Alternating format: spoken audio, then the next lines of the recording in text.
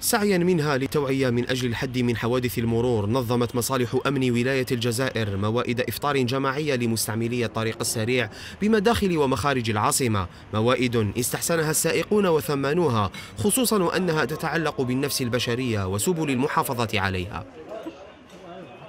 مبادرة مليحة. أول حاجة تقلل من الحوادث.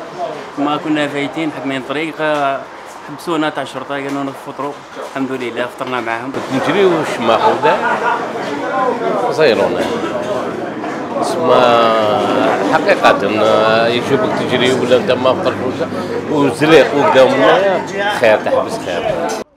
تأمين المداخل إلى الأماكن العمومية وفضاءات الراحة. إجراء آخر دعمته مصالح أمن ولاية الجزائر عن طريق تكثيف الرقابة بزيادة عدد الحواجز المرورية. مصالح أمن الجزائر على غير الأمن الولايات الأخرى. آه، قمنا بتخصيص يعني تعداد بشري يقدر ب 7000 شرطي بمختلف الرتب والتخصصات.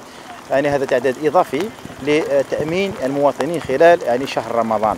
خاصة في الفترة يعني ما بعد الإفطار أين يعني توافد وخروج المواطنين الذين يقصدون مختلف يعني الفضاءات العمومية؟ كبح سلوكيات الإفراط في السرعة دقائق قبل الإفطار وإرساء ثقافة مرورية لدى السائقين تحد تسهر على تجسيده مصالح أمن ولاية الجزائر خلال الشهر الفضيل.